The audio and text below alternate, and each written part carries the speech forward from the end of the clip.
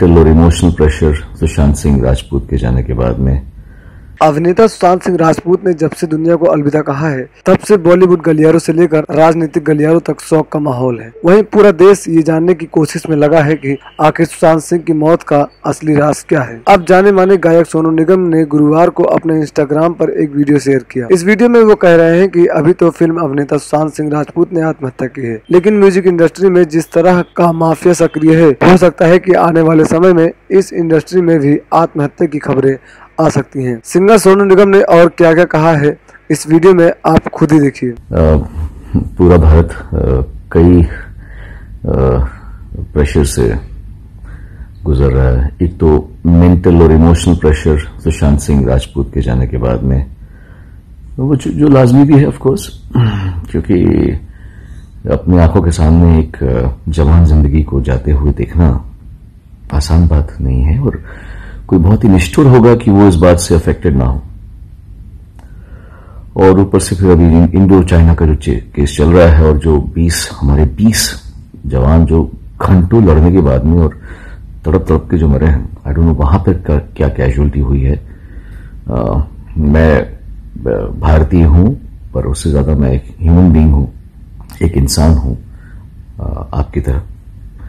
तो मुझे दोनों ही चीज़ें ठीक नहीं लगती। मतलब ये क्या है, चल रहा है? मारा हमारी इंसान की इंसान को मारना और ये चीज़ें समझदारी से भी हैंडल हो सकती हैं अगर इंसान चाहे तो लेकिन हमारे वाले तो चाहते हैं शायद, लेकिन सामने वाला जो पक्ष है, वो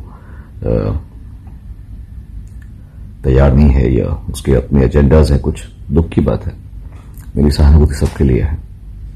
मैं इस वीलॉग से एक रिक्वेस्ट करना चाहता हूँ। खासतौर से हमारी म्यूज़िक कंपनीज़ को। क्योंकि आज सुशांत सिंह राजपूत मरा है, एक एक्टर मरा है।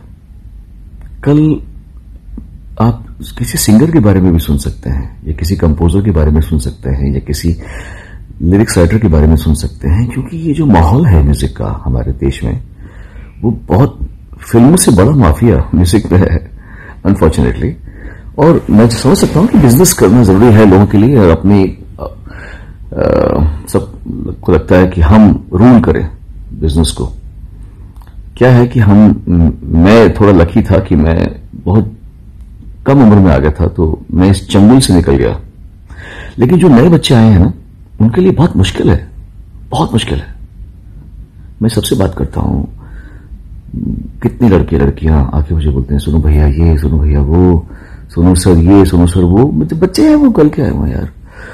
परेशान है वो कि प्रोड्यूसर काम करना चाहता है डायरेक्टर काम करना चाहता है म्यूज़िक कंपोजर काम करना चाहता है पर म्यूज़िक कंपनी बोलेगी ये हमारा आर्टिस्ट नहीं है. मैं समझ सकता हूँ कि आप लोग बहुत बड़े हैं और आप लोग कंट्रोल करते हैं म्यूज़िक को आप लोग कंट्रोल करते हैं कि रेडियो में क्या बजेगा कंट्रोल करते हैं कि फ़िल्मों में। लेकिन ऐसा मत कीजिए दुआ बदुआ बहुत बड़ी चीज़ होती है। आ, ये ठीक नहीं है।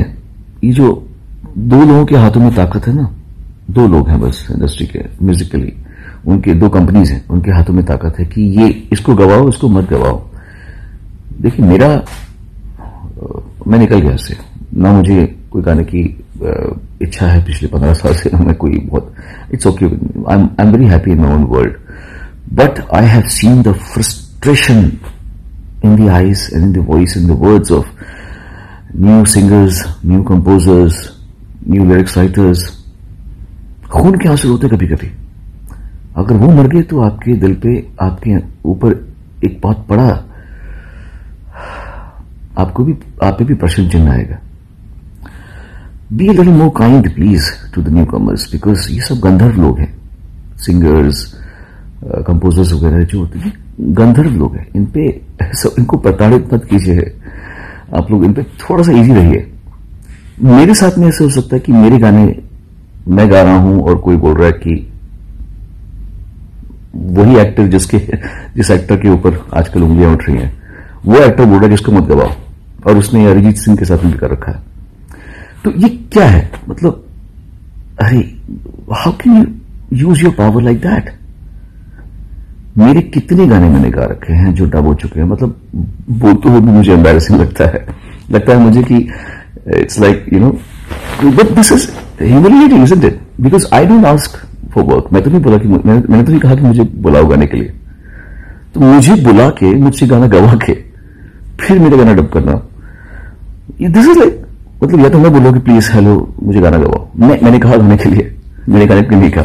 आप मुझे बुलाते हो मुझे गाना गवाते हो फिर मेरा गाना डब कर देते हो। मतलब this is funny as hell, especially because I've been working since 1991 in Bombay, and I've been working since 89 uh, in, the music industry. 89 से मैं रिकॉर्डिंग कर रहा हूँ। मेरे साथ ऐसा कर सकते हो। तो छोटे बच्चों के साथ में क्या कर रहे हो यार आप लोग? थोड़ा सा इजी हो जाएगा। ऐसे एक ही गाने को नौ दो लोगों से नौ नौ लोगों से गवाते हो एक ही गाने को। क्या चल रहा है? You guys need to just chill be be little kind to the human थोड़ा ह्यूमन होना भी आवश्यक है कि नहीं है? आपको लगता है कि इतना इजी है एक सिंगर को कि वो उसने दस गाने गाए दस के दस गाने डब हो जाए उसके फिर ग्यारहवें गाने में उसको बोले तुझे हम सिलेक्ट कर रहे हैं. Is it wrong for the singers is it wrong for the lyrics writers to be paid pittance is it wrong for the music composers की तेरा गाना तू मेरी कंपनी में का आर्टिस्ट है तो मैं तुझे काम दूँगा। वरना तेरा काम कितना भी अच्छा हो मैं तुझे काम नहीं तेरे से काम नहीं करूँगा। ये थोड़ा ठीक नहीं है मेरे ख्याल से। So you see, uh, I'm done with this, but please don't torture the younger ones. really, इतना अच्छा स्पेस नहीं है. Please look step into their shoes and please try to understand they need you they need your help they need your kindness they need your grace थोड़ा सा kind हो जाइए आप लोग यार. ऐसा मत कीजिए. एनीवे चलो. आई होप कुछ लोग इस बात का बुरा न माने कि सोनू निगम ने ऐसे बोल दिया और हमारे बारे में ऐसा बोल दिया। मैं जो कह रहा हूँ जो मैं देख रहा हूँ, मैं वही कह रहा हूँ और मेरे ख्याल से लोग इससे एग्री भी करेंगे। जो जिनकी, जो म्यूज़िक कंपोजर्स हैं, जो सिंगर्स हैं, जो राइटर्स हैं, जो जो सफ़र कर रहे हैं, मैं कह रहा हूँ even directors and producers also are not happy कि उनको, उनकी मर्ज़ी का म्यूज़िक बनाने नहीं दिया जा रहा। ये भी ठीक बात नहीं ना? दे, मुझे तो डायरेक्टर्स भी जब मिलते कहते सर, हम, हमको ये गाना चाहिए नहीं। पर म्यूज़िक कंपनी बोलते कि ये गाना हमको दे रहा तो ये थोड़ा रॉन्ग है। क्रिएटिविटी दो लोगों के हाथ में नहीं होनी चाहिए।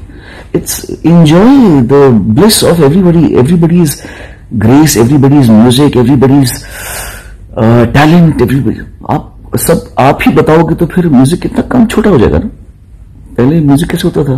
राज कपूर का अलग म्यूज़िक होता था, है ना? और ओपिनियर का अलग म्यूज़िक होता था, शंकर जयकिशन का म्यूज़िक राज कपूर के लिए अलग और बसंत बहार के लिए अलग। तो मतलब कितना, सबका अलग, इतना वेरिएशन था पहले। अभी म्यूज़िक बड़ा संकुचित सा होता जा रहा है। और लोग सुसाइड ना कर लें। तो थोड़ा सा आप लोग काइंड हो जाइए। And God bless you all and live like a happy fertility thank you God bless everyone bye